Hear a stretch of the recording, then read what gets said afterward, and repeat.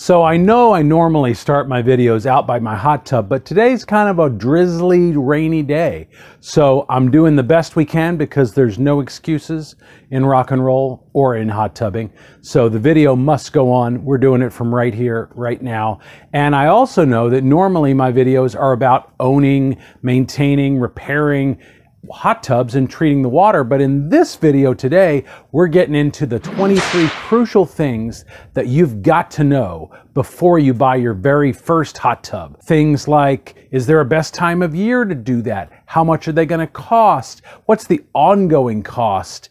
And which kind is better than another? We're getting into all of that and a whole lot more. Like I said, 23 of the top questions things that you're going to need to know before you buy your very first hot tub. So let's get into it.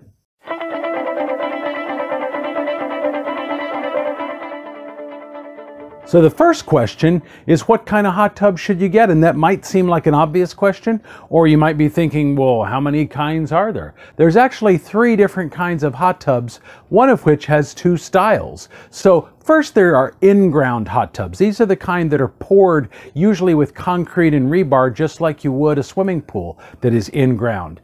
And those are obviously going to be the most expensive kinds of hot tubs. Then you've got so-called portable hot tubs like mine back there.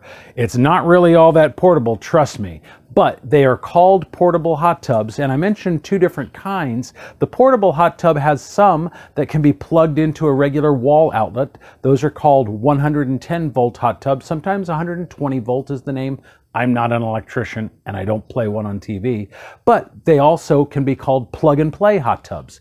Or that same style of hot tub can be hardwired to a junction box. I don't know why I said it that way. Hardwired hardwired, hardwired to a junction box that then gets connected to your electrical panel. And uh, that is called a 220 or a 240 volt hot tub. Electricians can be fickle, I guess. Anyway, so the portable hot tubs have two different styles. Then the third kind of course, is going to be an inflatable hot tub. And before you completely knock those, there are actually some that are pretty decent that can hold upwards of six people and are only hundreds of dollars as opposed to thousands of dollars. Most people watching this video, though, are probably looking at a portable hot tub, kind of like the one that I have, and that's what most of the questions are going to be geared towards. But let's keep going.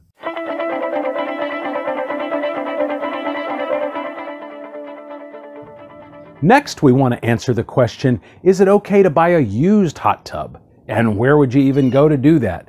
I actually have bought a used hot tub. This one came with the house when we bought it, so it is technically a used hot tub. But at our last house before this one, I actually bought a used hot tub on Craigslist, had it delivered to my house, and then I fixed it up myself.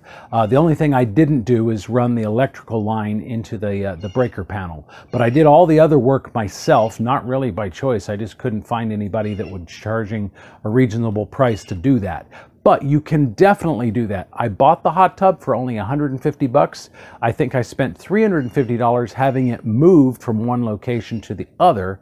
Unfortunately, I spent about 700 bucks on the electrical work that needed to be done, and then I ended up replacing the heater, the pump, and the blower all of that was probably a $1,000. So in the end, I did not save anywhere near as much money as I hoped that I would, but I did definitely save some. And more importantly, once it was up and running, uh, through a lot of elbow grease on my part, it was a great thing to have for myself and for my family who all love soaking in the hot tub. But you can definitely do that. Just be a little smarter about it than I was.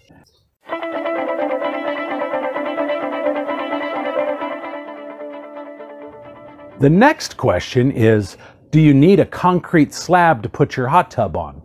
And the short answer is no. You do not have to have your hot tub on a concrete pad.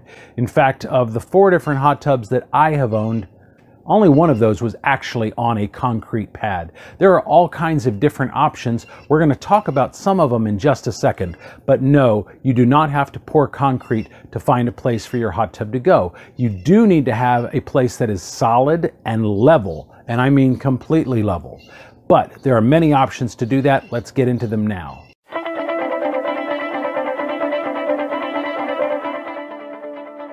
So I don't think you can see the bottom of my hot tub, but my hot tub is currently sitting on my deck. I'm standing on my deck, then the deck steps down a little bit. That is intentional. A hot tub full of water and people can be upwards of 4,000 pounds. That's a lot of weight to put on a deck. So the lower the deck is to the ground, the more it can support that kind of weight without additional support underneath. Uh, my deck is actually supported additionally under the hot tub area too though, but the lower to the ground it is, the less of that you need. Aside from decks and aside from concrete slabs, you can also put a hot tub on pavers. You just need to prepare the ground properly first. You'd dig up the grass with a shovel, you'd dig down about six inches probably, and you'd put down a level, uh, a layer of like gravel probably. And then you'd put the pavers on top of that. You can also set the hot tub directly on the gravel too, that's fine. The primary thing you need to do is make sure you're not putting the hot tub directly on ground or grass, and whatever you set it on needs to be perfectly level. That's for a few reasons, but most importantly, you don't want the hot tub to be heavier on one side than another. That can cause the shell to crack. It can also cause the 2x4s, which make up the bulk of the frame underneath, to crack because they're designed to distribute that 4,000 pounds equally across the whole thing. And when it's not level, that can cause stress fractures because too much weight is built up in one particular area and not evenly distributed.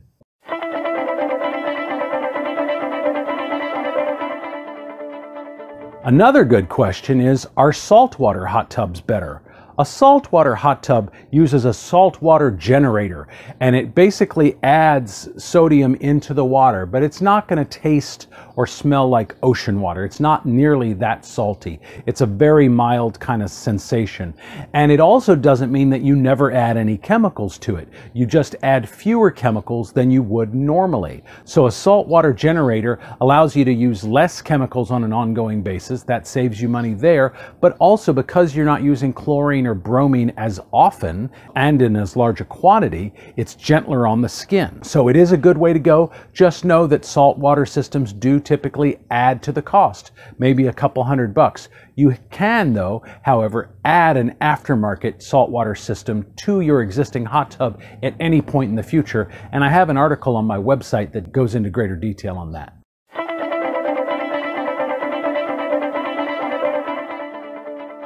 The question everybody wants to know is what is the best hot tub for the money? And I wish I had a million dollar answer for you. Unfortunately, I don't. There are a lot of great hot tub companies out there. They all have their pros and their cons. There's Jacuzzi, the company that practically invented the portable hot tub as we know it. Jacuzzi uh, was founded by a bunch of brothers named the Jacuzzi Brothers, go figure.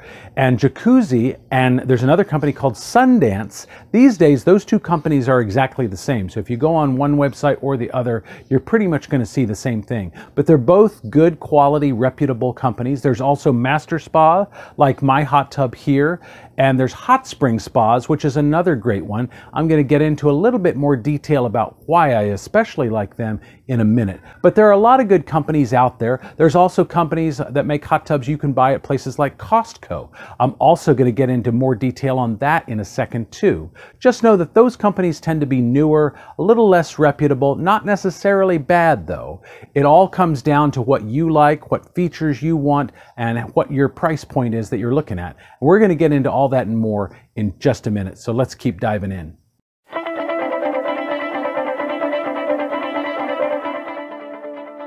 All right, everyone, get out your calendars because, yes, there is a better time of year to buy a hot tub than any other time throughout the year. You may have already guessed it, but just like with buying a car, the end of the year, what they call the fourth quarter, which is basically late September through late December, is the absolute best time of year to buy a hot tub. Why is that? Well, just like with cars, the hot tub showroom, the hot tub salespeople are wanting to get rid of everything that they currently have on hand that they've had all year. Why is that? Because the hot tub companies are sending them new hot tubs, the next year's models. It's the exact same thing with a car. They want to get rid of everything that they're sitting on that they've had all year so they can get have plenty of room for all the new stuff coming in. So that's when they're going to be more flexible on price, more willing to negotiate, and more willing to throw in extras and and freebies and accessories to get you out the door with your new hot tub. So, unless you're absolutely completely impatient, which I can be, uh, and you have that money burning a hole in your wallet, wait until at least late September, if not a little bit later, to walk into that hot tub showroom ready to buy. You will save money. I can pretty much guarantee it. Now I sound like a used hot tub salesman.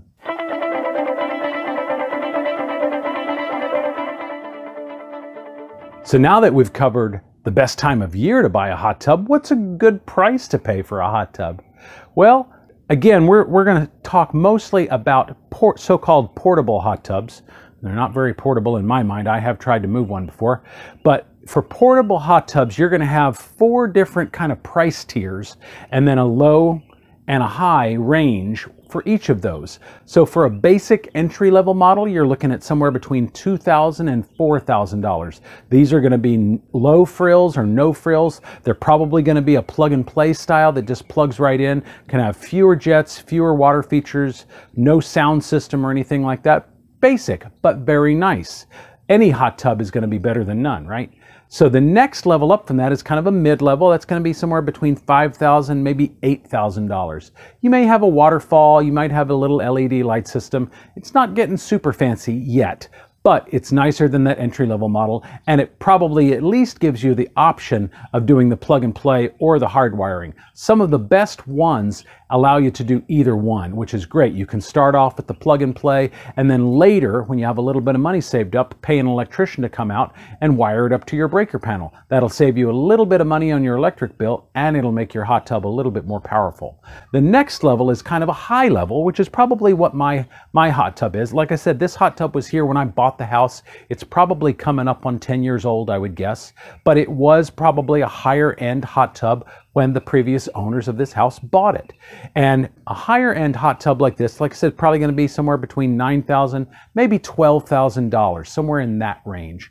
And then you have the luxury hot tubs. These are the Cadillacs of hot tubs, somewhere between $13,000, $18,000, maybe even more. We're talking sound systems, we're talking light uh, LED light shows, we're talking, you know, Bluetooth and maybe even programmable from an, a phone, an app on your phone. I don't know. Maybe maybe they cook dinner for you. Who knows? But they're fancy, and those are the luxury end. So, so like I said, four different tiers and a low low end and a high end price range. For most people buying their first hot tub, you're probably going to spend somewhere between four to six thousand dollars, maybe seven thousand at the most.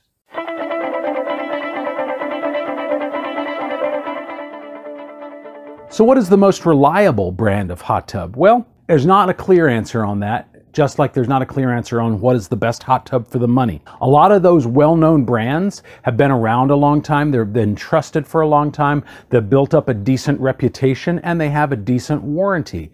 Again, those companies would be Jacuzzi or Sundance. And again, that's technically the same company these days. Jacuzzi bought Sundance. And then there's Master Spa, there's Hot Spring Spas, uh, and there's, there's several others. What I like to do when I'm shopping around, first of all, if I don't know the brand, I'm going to want to see some unbiased reviews. And, and that's not always available when you just Google it. You may find people that are trying to sell hot tubs who have reviews on their site, and you don't necessarily know if those are legit or not. So I would check the Better Business Bureau website first, see what kind of reviews are on there, look at the complaints, and, and, and really look at the really bad ones. But sometimes when you read bad reviews, you realize, well, this person really they bought the wrong hot tub for what they were looking for, or they're clueless and they have no idea how to use it, and they're leaving a bad review because of their own ignorance more than the product being faulty. So look at those reviews and really scrutinize and see if the problems those people are having are problems that you would likely have also, because they may not be. But like I said, go with a trusted brand that's been around for a while, a company that's been around at least 15, 20, 30 years. They've got a lot of experience making hot tubs, and they've got a lot of customers out there who are loyal to them, and they value their reputation. Some fly by night company that just builds their hot tubs in China. Um, that hasn't been around for very long and may not be around for very long, they don't necessarily care about repeat customers and word of mouth and things like that. So think about that when you're looking into and researching your hot tub purchase.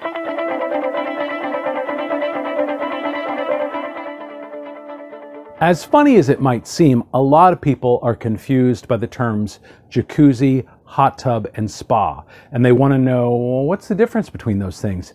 And the truth is that if you're talking about a portable hot tub, there's no difference. Jacuzzi is simply a brand name. And like I mentioned, the Jacuzzi brothers who started that company pretty much invented the portable hot tub as we know it today. But it is just a brand name. So if somebody says, oh, we're going to get in my jacuzzi, they just mean we're going to get in my hot tub. And the word spa can also mean hot tub, but of course it may also refer to a place that you go for a mineral bath treatment or facial and things like that too. But if somebody says, hey, do you want to hop in the spa? Do you want to hop in the jacuzzi? Or do you want to hop in the hot tub? They're all talking about the same thing. Three words, same thing.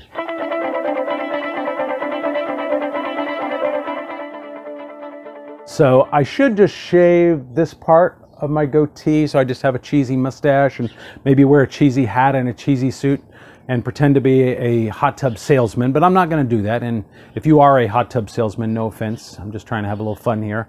But my next question is can you negotiate hot tub prices? And the short answer is yes. Hot tubs can get marked up as much as 100%. So that means if they bought it for $2,000, they're probably going to slap a $4,000 price tag on it in the showroom. And there's nothing wrong with profit. There's nothing wrong with making money. There's nothing wrong with paying your overhead and your expenses. I'm not trying to dog a capitalist system. Uh, we all follow a capitalist system if you're watching this video in the United States.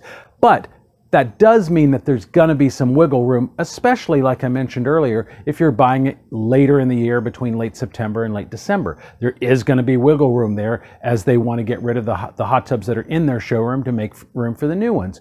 But no matter when you buy a hot tub, you can always negotiate. The worst that the salesperson's going to say is no.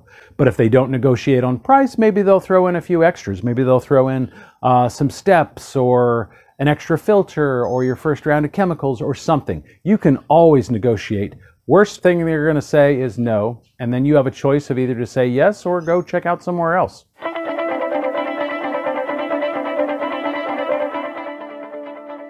Another question that people have are Costco hot tubs any good? After all, most of us have a Costco or maybe a Sam's Club membership, and it's easy to walk in there and they have hot tubs available. So, are those things any good? Uh, and the answer is yeah, they're probably pretty decent. Uh, I've looked at the reviews on Costco's website for the hot tubs that they have. They have brand names that you're probably not going to recognize. Aquaterra and OC hot tubs are, are, a couple they have. I think also um, Bullfrog is another one. That one's probably a little better known than the others. Uh, and generally speaking, they all have decent reviews. Uh, as of the time of this recording, the one that had the lowest reviews overall was OC Hot Tubs. I think they had one that was two and a half stars. So if I were buying one from Costco right now, uh, I would probably dig in a little deeper than that, but I would probably steer clear of that one based on the current reviews. But reviews do change over time, um, so it's always a good idea to look at reviews maybe from a couple of different sites to get a bigger picture. And again, I like to check the Better Business Bureau website to look at the reviews of the company at large overall. Unfortunately, none of the brands that I currently saw on the Costco website today have Better Business Bureau pages. That's not necessarily a red flag, but it probably does mean that they're newer companies that have not been around very long, they're not established. Um, but it also means that nobody's lodged a complaint with the Better Business Bureau also. So kind of a double-edged sword. But if you can get a hot tub at Costco for two, three, four, maybe 5,000 at the most, why not if it's a decent hot tub, has the features you like, uh, and is the right size and, and obviously the right price.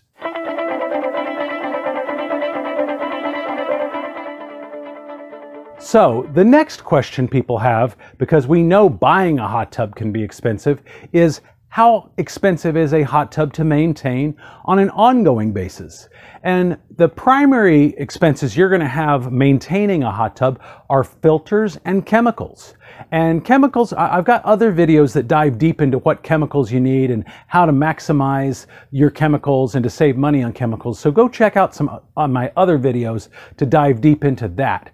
Uh, I've also got videos on my filters as well. But just to touch on it briefly, my hot tub has two filters. Each of those probably costs about 40 bucks each. Now, you're going to replace your filters between every 12 months and every 24 months. That's a pretty big range. So why such a big range? Well, if you're doing a good job of, of maintaining your water chemistry and changing your water as frequently as you need to and cleaning your filters, you can probably get two years of life out of your filter before you need to buy a new one.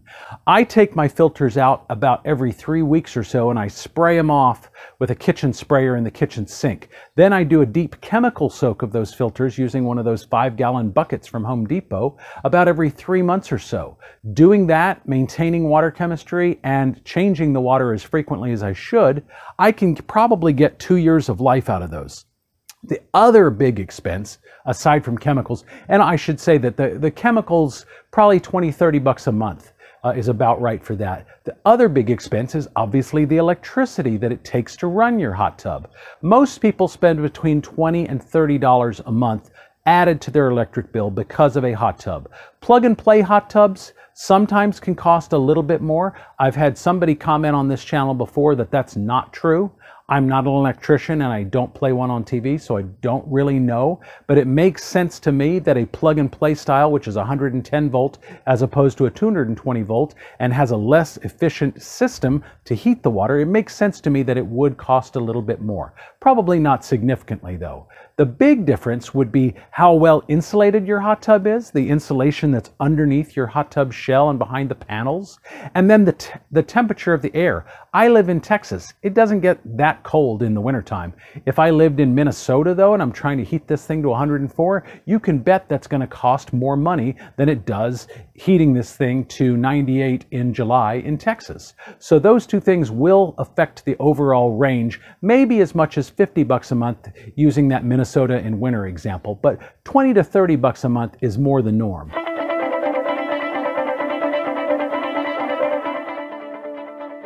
Now I've mentioned the plug and play style hot tubs a couple of times, the 110 volt. And the next question people have is, are those any good? Mine is a 220 volt, sometimes called a 240 volt, that has to be hardwired to a junction box, which then gets connected to an electrical panel. Um, I've never actually owned one that just plugs in, but I love the idea of the convenience. I have also researched those for articles on my website, so I do know a little bit about the plug and play style. I know that generally they're going to be less expensive. You can get a quality one for as little as $2,000 and somewhere between three and $4,000 can get you a really nice one. I'm going to link to my favorite one in the description below that you can actually get on Amazon with free shipping. And the really cool thing about those, especially the one I'm going to link to, is that they can later be converted to a 220 volt hot tub. So down the, the line, you, you buy it, you plug it in, but later you've got a little bit extra money. You want to go ahead and make it more energy efficient and more powerful. You can go pay an electrician to wire it up to a 220 volt system. That's a great option to have, and the one I'm linking to does have that option. But generally speaking, yes, 110 volt hot tubs are a nice, inexpensive, affordable, entry level hot tub. So if that's what you're looking for, you can definitely find that. The one that I like on Amazon that I, like I said, I'm, I'm linking to it down below is from Essential Hot Tubs. They make several different makes and models in different sizes, different price ranges. They have a ton of them though that are well under $4,000. So it's a great way to go if you're if you have a small budget but you still want a quality hot tub, something that's nicer than an inflatable hot tub.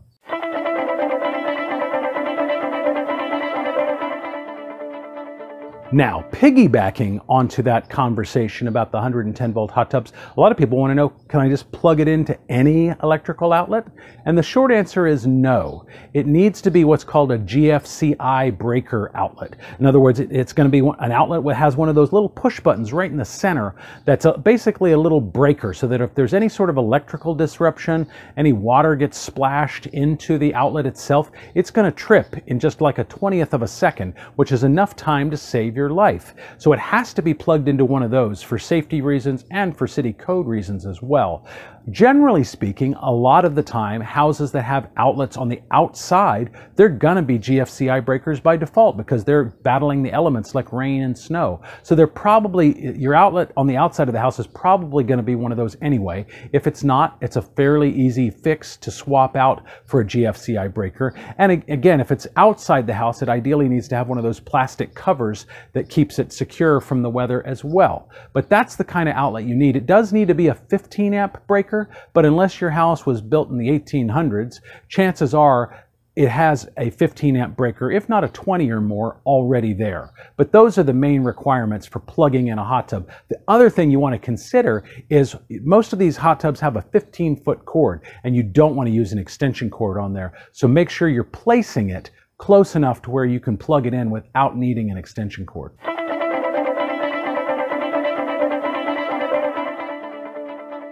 So I mentioned this a little bit earlier when I was talking about the ongoing expenses of a hot tub and how often should you change the water in your hot tub? It's a great question. The answer is about every three months. Now, it depends on how frequently you use it and how good a job you do of maintaining the chemicals in the water. If you do a good job of maintaining the chemicals and it's just you and you only use it a couple times a week, you could probably go four months, maybe even five months before changing the water. Uh, if you're having people shower before they get in to rinse off like oils and chemicals and not chemicals really, but like cologne and deodorant and body lotions and things like that, if you're having them shower before they get in, that also helps keep the water purer. So again, you could probably extend that up to maybe four or five months. But generally speaking, about every three months is about right and then you, you're just going to drain it. You're going to clean it out. You're going to wipe it down. You're going to refill it and, and treat the water all over again, and you're going to be good to go.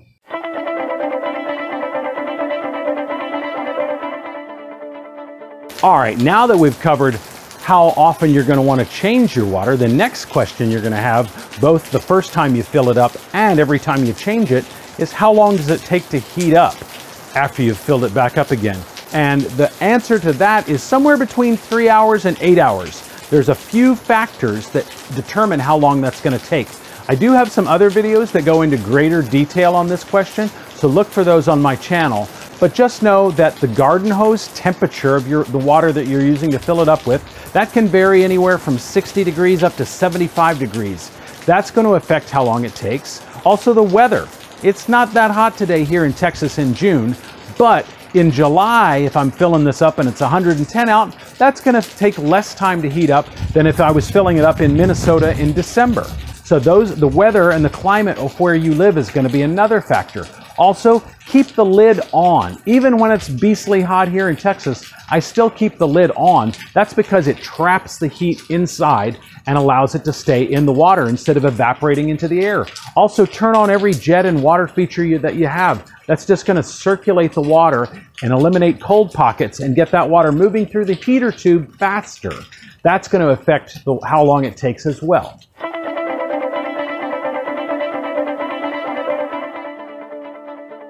And now the million dollar question. How much value does a hot tub add to your house? And the shorter answer is unless you're having an in-ground one put in, in which case you're probably also adding an in-ground pool, it's not really going to add to the value of your house. So don't buy one with the intent of raising the value of your property. Buy one because you love it and you and your family and friends are going to use it. An in-ground hot tub will definitely add some value, although not probably dollar for dollar what you paid for it.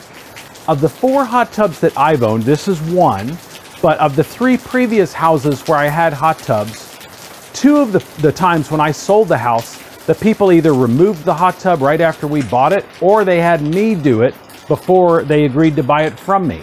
So the value, the hot tub only added value in one of those three transactions. And they actually insisted that I make sure it was perfect working condition, which it was.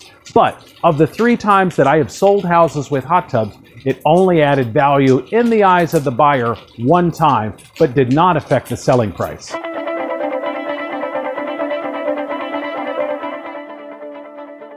So I mentioned ongoing expenses earlier in the video. Another common question that people have, really a common misconception, is they think that turning the temperature down, or maybe even flipping the hot tub off after they get out every time is somehow going to save them money on their electricity bill specifically.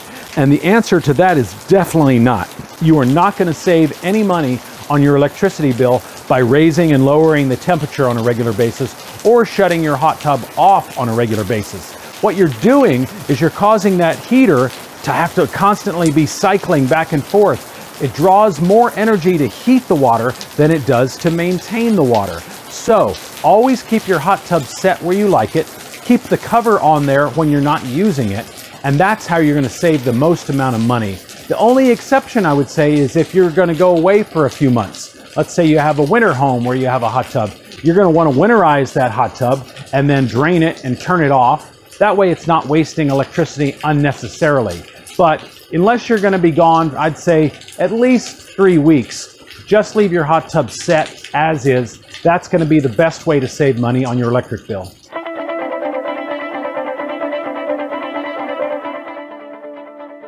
And now, my final tip.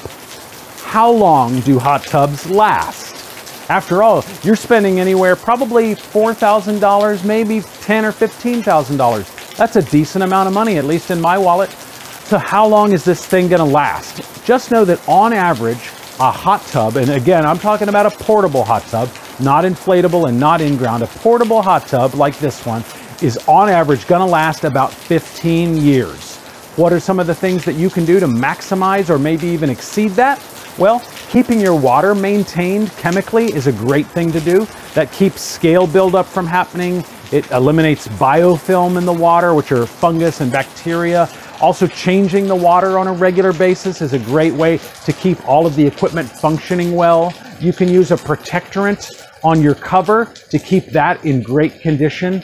The sun is the number one enemy of hot tub covers. Also, a hot tub cover lifter. I have a great video on how to use a hot tub cover lifter. You're going to want to see that because you are going to want a hot tub cover lifter. These things can be upwards of 75 pounds. And if you're just pushing it off the edge like we used to do at my last house where I didn't have a cover lifter. That's going to put excess wear and tear on the cover and require you to have to buy a new one. I know it's not the same as buying a new hot tub, but a cover could still be 600 bucks. So that's part of the hot tub and extending the life of everything, including the cover, is crucial. So use a hot tub cover lifter and use some protectorant from time to time on the cover itself. But those are the main things that you can do to maximize the life of your hot tub. Also, as I mentioned quite a while earlier in the video, it's not really that hard to change out, say, the heater tube or the pump or the blower and to fix leaks. So when those things fail, and they will eventually fail, don't think that's the end of that hot tub and that you just have to buy a new one. You could probably fix those things yourself with a little ingenuity and a little elbow grease. So once again, on a kind of dreary, wet day here at my house, my name is Jeff Campbell. This is my channel, Hot Tub Owner HQ.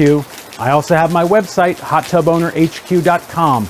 And if you're looking for tips on either how to buy a hot tub or how to maintain one that you've already purchased, you're gonna wanna subscribe to my channel, hit the bell notification button, and please give me a thumbs up for this video.